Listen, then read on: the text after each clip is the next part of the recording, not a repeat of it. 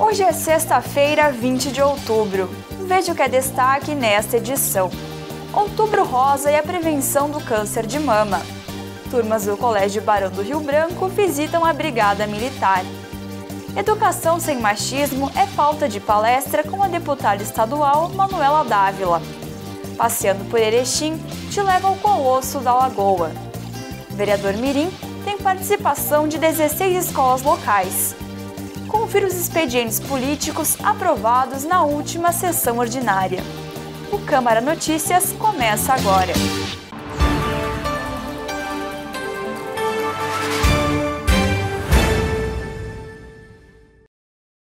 Projetos de lei executivo 90, 92 e 94 foram aprovados. Projetos de lei legislativo 30 e 33 também foram aprovados. Moção 22 e o pedido de informações 62 foram aprovados por todos os vereadores. Os requerimentos 76 e 77 foram aprovados.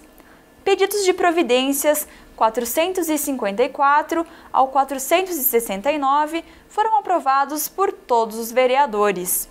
Mais informações no site da Câmara, erestim.rs.leg.br.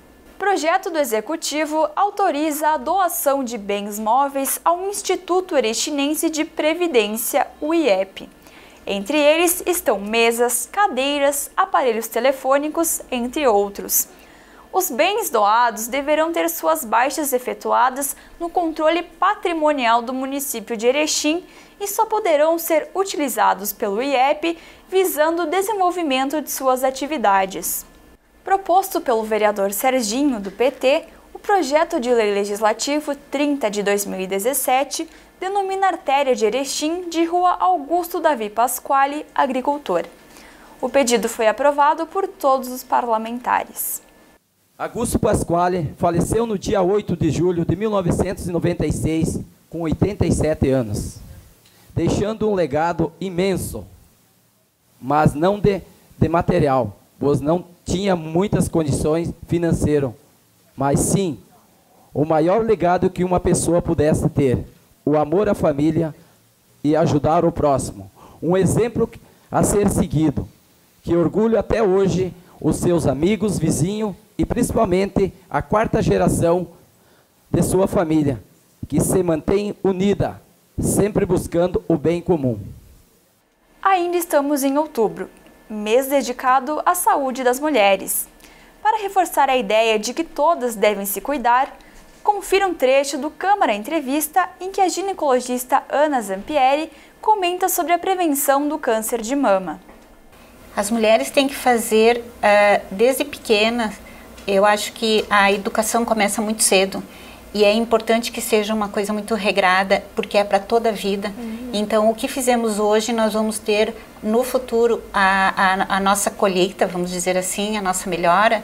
O que, que acontece? Eu acho extremamente importante, desde criança, ser educada por uma alimentação correta, sim, né? Sim. Ser educada a criança que vai fazer uma atividade física. Hoje a gente tem uma dificuldade enorme, porque hoje a, a gurizada ama computador, ama celular, né? A gente vê crianças com problemas enormes de coluna porque estão com aquele hábito aonde não consegue se desvincular. Então, assim, a atividade física, a alimentação correta, a preocupar-se com grandes problemas e não tanto com pequenos problemas, que são os nossos problemas do dia a dia, é né? Verdade, Resolver é. os pequenos problemas, mas sem a preocupação eterna. E quando chegar numa determinada idade, para quem já tem câncer de mama na família, é importante fazer o acompanhamento com o médico. E para as pessoas que não têm câncer de mama na família, o Ministério da Saúde no Brasil, ele ele recomenda a partir dos 50 anos uma mamografia a cada dois anos. Sim, sim. A nível de consultório médico e a nível de mundo, a gente recomenda a mamografia a partir dos 40 anos, independente se tem câncer de mama na família ou não. Então, a prevenção realmente é um bem-estar, né, físico, mental, é um bem-estar da pessoa, né, desde pequeno. E, e os exames, o autoexame em casa, uhum. o exame com o médico uma vez ao ano e a mamografia conforme a necessidade. estudantes de diversas escolas municipais, estaduais e particulares viveram o clima de eleição de seus candidatos para o programa Vereador Mirim numa reedição que acontece neste ano e que obteve a adesão de 16 escolas locais. Desde que as escolas de Erechim aderiram ao programa Vereador Mirim, diversas atividades estão sendo desenvolvidas. Dentro do cronograma do projeto estavam as eleições dos candidatos que vão assumir em janeiro de 2018. A votação, que aconteceu nas escolas, segue, como todo o programa, os mesmos moldes de uma eleição normal para vereador do município. Os alunos tiveram que colocar o nome à disposição da escola, realizar uma campanha com um programa de governo e buscar a confiança dos colegas para receberem o voto nas urnas. Nesta edição, fazem parte do programa a Escola José Bonifácio, Mantovani, Cristo Rei, Luiz Badalotti, Otelo Rosa, Caras Pintadas, José Vicente da Maia, São José, Barão do Rio Branco, Escola Adventista, Lourdes Galeazzi, Inlau, Aide, Paiol Grande, Sidney Guerra e Roque Gonzalez de Capoeirê. O vereador André Jukoski, do PDT, solicitou a instalação de mais brinquedos na praça central do bairro Novo Atlântico. Ele diz que aqueles hoje instalados estão muito deteriorados, por isso, a importância da implantação de novos brinquedos, visando a criação de um espaço adequado para as crianças brincarem enquanto seus pais usufruem da praça. E no próximo bloco, Brigada Militar recebe turmas para uma visita. Deputada estadual Manuela Dávila dá palestra na escola JB. Passeando por Erechim te leva ao Colosso da Lagoa.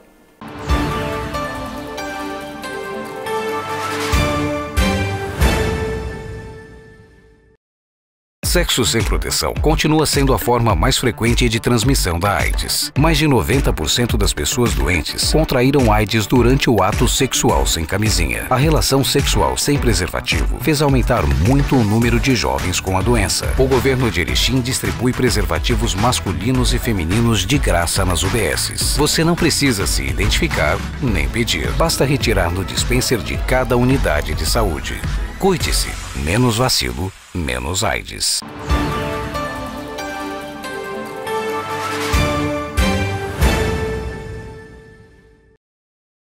Alunos do Colégio Barão do Rio Branco visitam Brigada Militar em programação especial para o Dia das Crianças.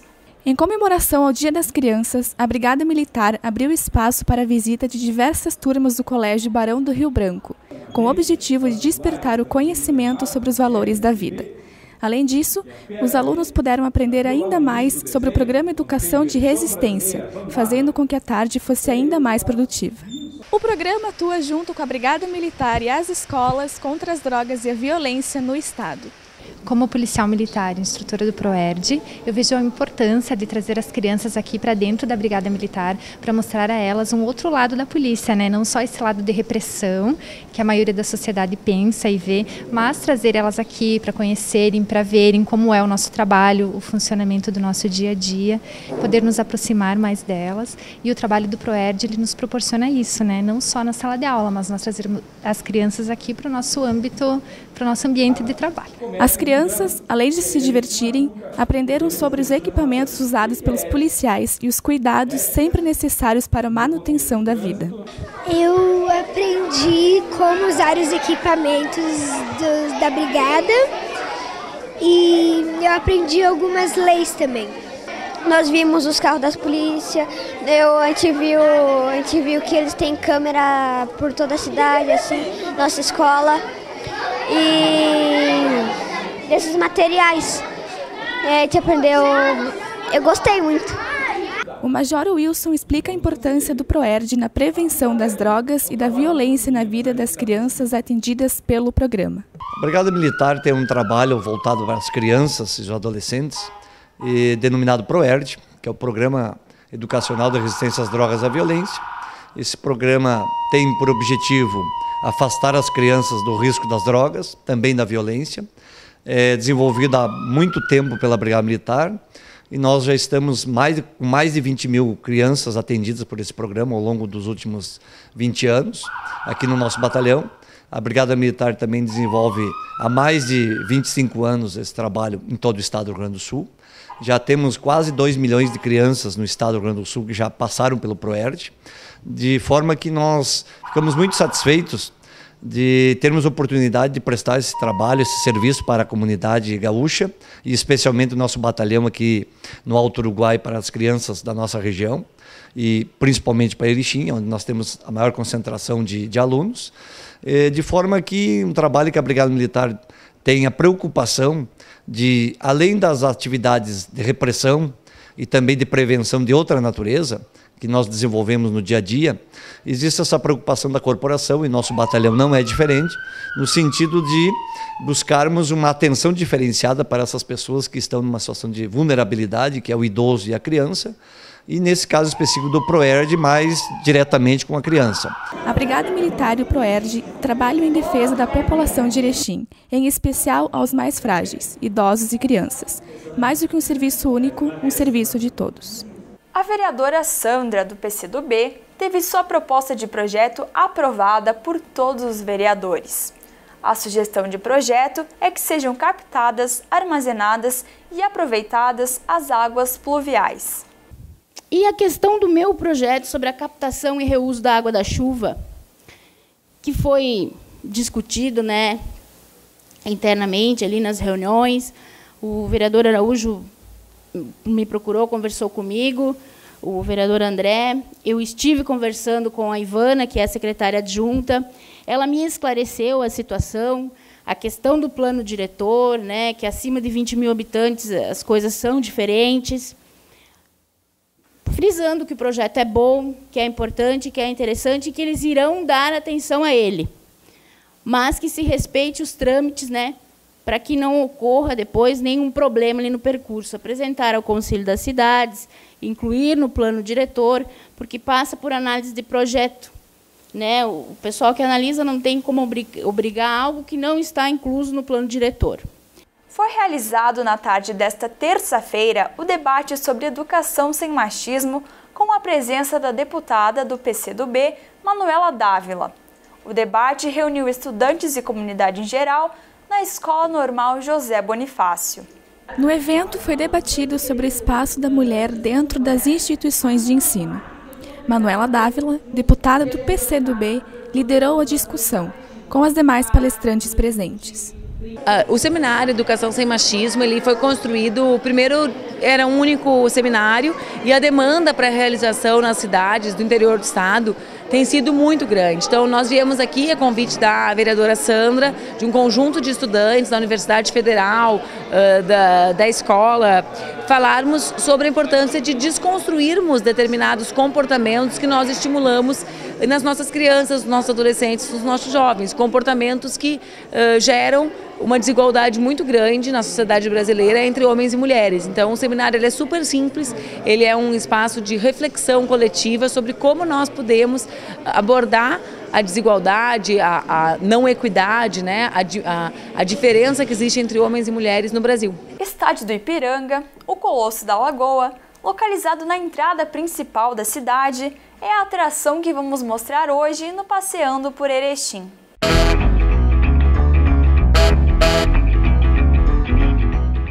O estádio Colosso da Lagoa começou a ser construído em 1963 com recursos conseguidos através de mobilizações dos associados que faziam promoções e sorteavam carros para conseguir comprar os materiais de construção.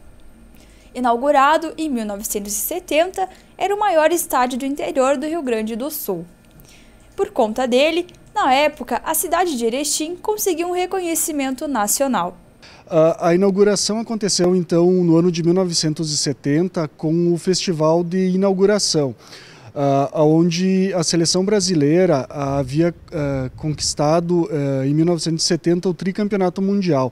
Então os atletas que conquistaram o título mundial lá no México, eles vieram com seus clubes aqui para Erechim e acabaram participando desse festival. Então, equipes como o Grêmio, Internacional, Santos, Cruzeiro acabaram uh, participando desse festival junto com clubes aqui da região, como Ipiranga, Atlântico, Taguá, Esportivo. Né? Então foi uma grande festa, a festa durou vários dias e também mobilizou toda toda a região aqui, inclusive pessoas de outras regiões do Brasil vieram aqui participar da, da, desse festival de inauguração, acompanhar esses jogos.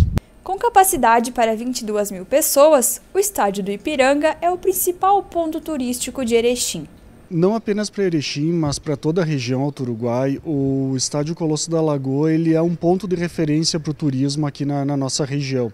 Ele é um dos pontos turísticos mais visitados uh, aqui da, da, nossa região. Várias pessoas que passam aqui, estão de passagem por Erechim, eles acabam vindo uh, até o Estádio Colosso da Lagoa, tirando foto, relembrando a história.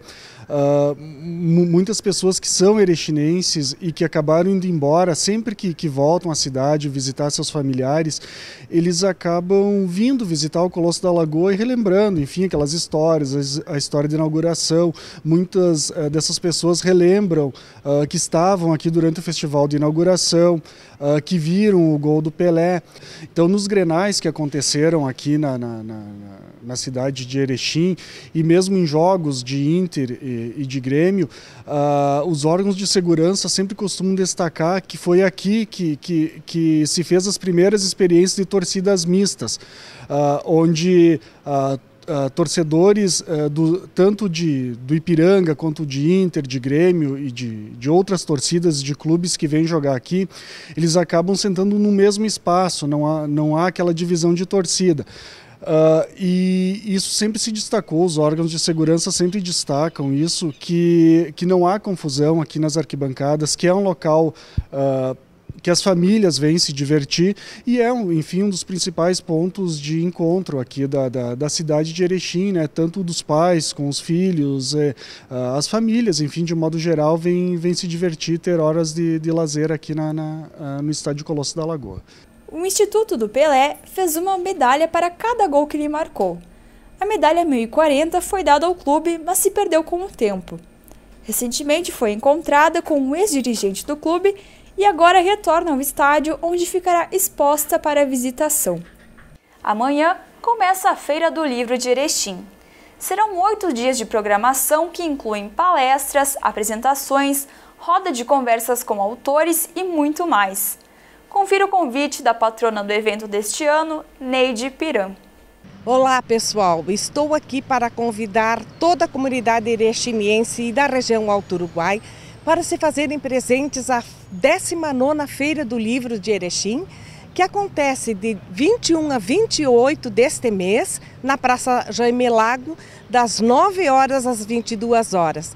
Venha que a programação é intensa, você se sentirá muito feliz. Compre um livro, porque o livro é de fundamental importância para a nossa vida.